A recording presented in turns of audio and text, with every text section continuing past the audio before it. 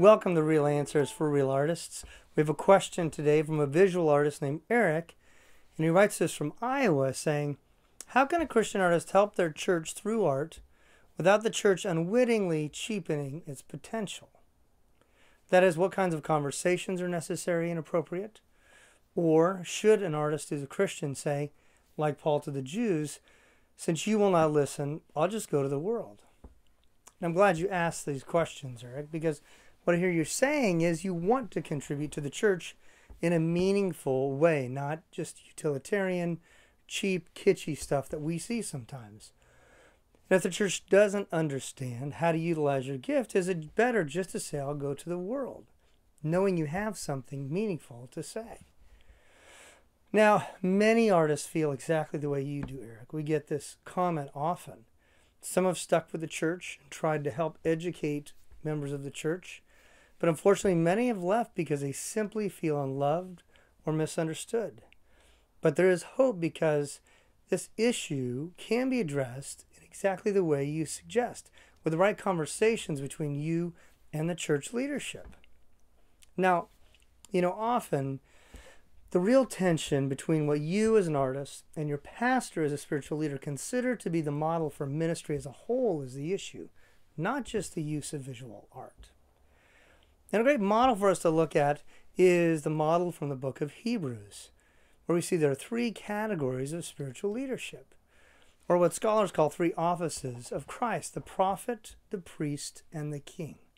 Now, the easiest way to think about this is the office of prophet is really about truth, the office of priest is really about compassion, and the office of king is really about function, uh, efficiency, those kinds of concerns. And if you think about it, in the Old Testament, we have examples of these. For kings, we have Solomon and David. Uh, for prophets, we have Jeremiah and Isaiah. And for priests, we have Aaron, Moses' brother, or uh, later on Eli. And all of these are examples of these offices. But something changed as we went in the New Testament radically. And it's there we're told that all of these three offices prefigure or point to Christ, and that he held all three offices perfectly. Now, of course, Christ is perfect. We're not going to be able to imitate perfectly what he does in any of the three offices, and typically we're only able to do one or two of these offices. But think about it this way if your church leadership is more like a priest, they will have a priority on compassion and forgiveness. So they'll be drawn to art which is comforting to those experiencing pain, a bit more therapeutic, this kind of thing. If, on the other hand, your church leadership is more like a prophet, they'll prefer artwork which is hard hitting, uh, confrontational, challenging people to awaken from their sin, to repent, these kinds of things. And if your church leaders are more kingly, well, then they're going to want artwork which is functional. And so they're going to want things that support the mission trip and do a documentary or create brochures that are more efficient in communicating the gospel or some new outreach. Now, you need to remember all three are valid, but no single approach is sufficient. So the key questions you need to ask yourself before you approach the church leadership are first, what kind of art do you create? Is it more like a prophet, a priest, or a king? And then, secondly, what kind of gifts do you see in the leaders in your church? What kind of gifts do they exhibit in relation to these three voices? Think about it. If your voice as a prophet, priest, or king does not match the voice of the church leadership, you're probably going to experience tension as you seek to contribute artwork to the life of your church. For instance, an artist who wants to awaken people from sin like a prophet will experience tension in a church where the leaders are really priests and they want something more therapeutic. Of course, those who are creating artwork which is priestly may not fit easily with a church that's focused on kingly ministry, who are more focused on efficiency and programmatic concerns. So you see, to whatever degree you and your pastor have different strengths in these three offices of Christ, you will probably experience tension. But the great part is within that tension, there's a great opportunity to complement one another and experience more of what Christ longs to do in our communities. Now, the reality is this God calls each of us to minister to the rest of the body with our gifts. Doesn't matter we're a prophet, priest, or king.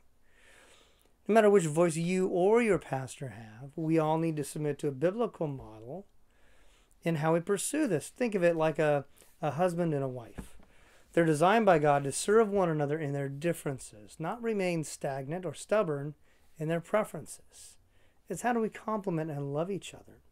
Each gift has its own strength, but without the others to balance it out, any gift can be overemphasized and then unhealthy. If we're only interested in being prophets, we'll speak the truth without love and we will wound people. If we're only priests, we will love people but fail to confront them in their sin and fail to take holiness serious. And if we're only kings, we'll focus on checklists and programs and efficiency, forgetting to simply love each other in the process. So, if we're to communicate the full gospel, the full richness of the gospel, we need to embrace all three offices of Christ. In fact, we need to use our gifts in community with others so that we become more and more Christ like as we learn from those around us. So, having understood this, once you've evaluated your own artwork, go to the church leadership and find out where they fit. And as the dialogue opens up, share which office of Christ your artwork embodies and explore how you and your pastor can work together to minister to your entire church body. That's the focus. And I'll leave you with two things to keep in mind. First, have compassion. Being a pastor is hard work. And secondly, persevere in caring for the church. It is Christ's bride for whom he died. Remember that. I hope this has been helpful. Thank you for your question, Eric, and thank you for sending it to Real Answers for Real Artists.